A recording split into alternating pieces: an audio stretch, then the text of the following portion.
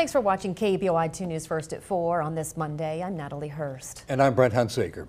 A man is on the run after robbing a bank on Orchard Street in Boise this morning. So take a look at this man.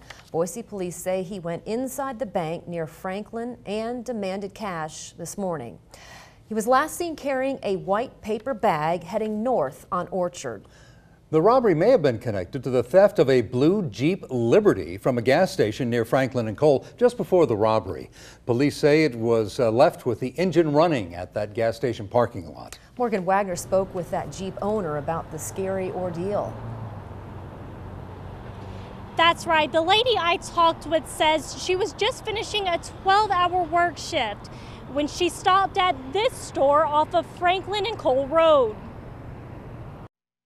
The woman, who does not wish to be identified, says she was on the phone with her husband when she left her car running to go into the gas station. Ran in, grabbed the smokes, and turned around. And I mean, just by looking at the call log, I was only on the phone with my husband 59 seconds.